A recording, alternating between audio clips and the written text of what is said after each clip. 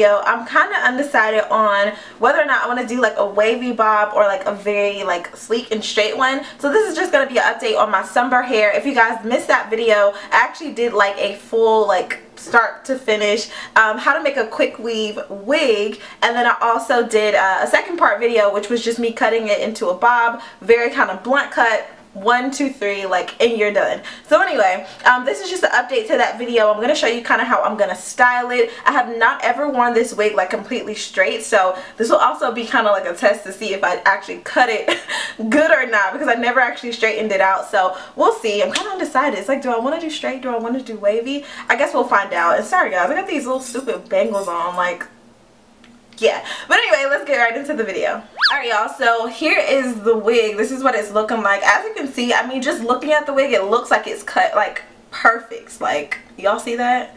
This looks like yeah. Anyway so of course it was a quick weave wig and all that I did was literally uh, make this on a dome cap. And as you can see like I used uh, the saran wrap just to kind of protect my own hair and literally pulled this off. So this is exactly what the wig looks like on the inside. Nothing too too crazy to be honest. No different than if I would have sewn it. Um, I did wash the hair however. Um, and so in case you guys are wondering you can wash your quick weaves and you can wash your quick weave wigs as well. Um, you just want to make sure you do that in like cold water. That's it. As cold as you can stand it you'll be fine. The goal is just to not have the glue um, slip or anything like that. So if you don't mind like like you'll be fine. Um, and then yeah this is what the part looks like. So I did bleach the knots. It looks really good. I mean in my opinion as you can see I don't have any combs or clips I'm not gonna put any on it because it's literally like a dome at this point. Um, so yeah I'm just I guess put this crap on. Y'all my braids are looking like oh I'm pretty much at the point where um, I only do about four big braids in my head and I do these while I'm like in the shower so it's literally like conditioner still in it. It's yeah just kind of interesting. So I'm not even going to put them up. Actually I should. So I'll just do like a crisscross type of thing. Alright as good as it's going to get. And then I'll just slide on the wig.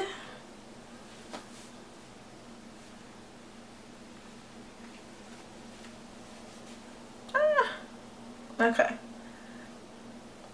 Line this up with my part. As see, y'all see how tight that is? Like, yeah. Wear it. I really feel like I look like um the guy off Shrek. Like, I feel like I should have cut this a little bit lower or either it's too flat up here. I'm not exactly sure, but it's definitely throwing me off. what is his name? Flora Farquaad? I'm done. I look like Lord Farquaad. And it doesn't make it any better pulling this forward. Like, no. So of course I need to do my little swoop. More than likely I need to make this wavy to give me some volume up here. Because otherwise, yeah, we're on the Farquaad panel right now. Like, I don't know. If I straighten it out, I just kind of feel weird about it. I'm going to do like one side and then we'll see how I feel about the other side. But um, yeah, I mean, as you can see, this is laying like really, really flat, so that's good. Um, I did cut off, I think I cut off like some little baby hairs here to be able to kind of swoop this. So let me see if I can find them. Alright, there we go. So, I don't know. Hmm. I mean, it's really, really blunt. I'm thinking it needs to be wavy. So I'm just taking my one inch. Um, this is a BaByliss flat iron. So this is, uh, yeah, I mean it gets really, really hot. Typically I only use this to straighten hair and not to curl because of how hot the plates get. So I just turned it down a little bit just to kind of see how I feel about it.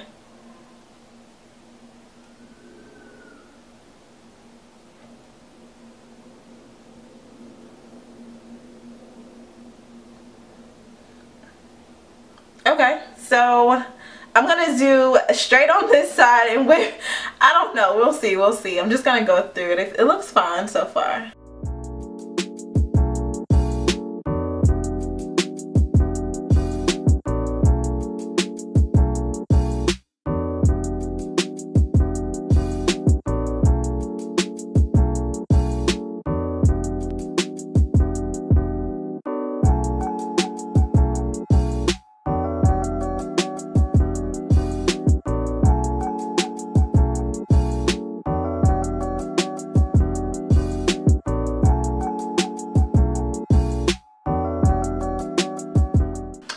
So I have my Kenra uh, flat iron spray and I'm gonna just use this. It tends to like sleek out the hair a lot easier. So I'm just gonna go ahead and use this now. It's called the Kenra Thermal Spray uh, number 19. They have a bunch of different like levels to it. So, yep. And it comes out wet of course, but it literally dries in seconds. So you can literally go right in after using it.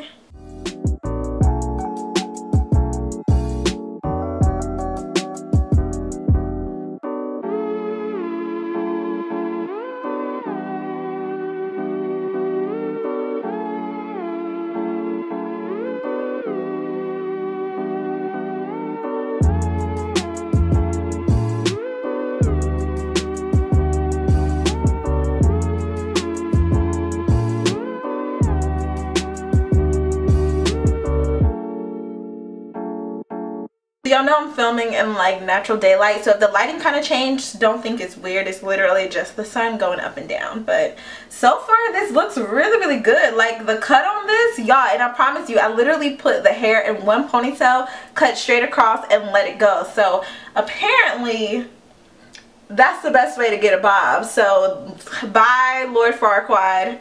We're good so I'm just going to go through the hair. I'm actually going to go ahead and do both sides like this um, just to really kind of round this out and we have a look y'all. This is full. This is pretty. Yeah we're here. So just in case you guys are wondering also as I'm going through the hair I'm not using the flat iron spray everywhere. I'm literally only using it to cover the top portion. So right around here just to kind of really sleek it out and give it that final finish because I do still want it to have body and that flat iron spray gets it extremely straight which is a good thing but I do want the body at the end. So here we go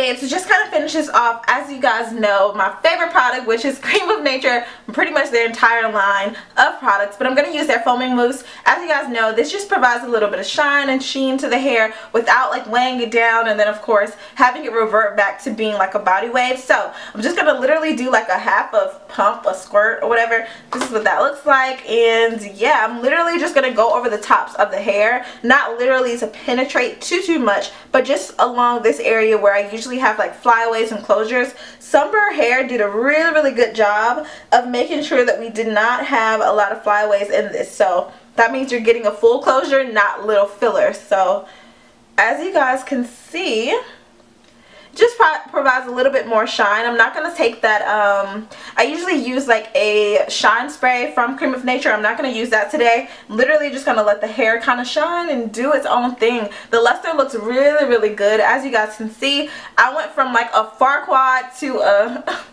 how you doing? No, I'm still Farquaad. But anyway, you guys can see that this bob is like extremely full. If I'm not mistaken, I just used the closure and I think about two and a half bundles. But I'll double check uh, the very first video so I make sure I give you the right information. But um, yeah, like I said, I did one big chop. I literally put the hair in a ponytail, cut it, went out the door. Here we go. Now on this side, I think I went a little bit too short right here. So you can kind of see where it's like this situation happening. But because the bob is still even length, I'm not to go crazy about the fact that this very tip doesn't match with the other tip. It's fine, like no big deal. You guys, I don't know if anybody would have noticed, but of course, if you're stylist, more than likely you would have called me out. So whatever anyway uh, thank you guys so much for watching. This is kind of like a quick hit just to kind of get this out of the way. And yeah I like it. As you guys know bobs are my like go-to style. And because this is a quick weave I feel like I'll have it forever. So yeah. Definitely love this. Thank you guys so much for watching. And I will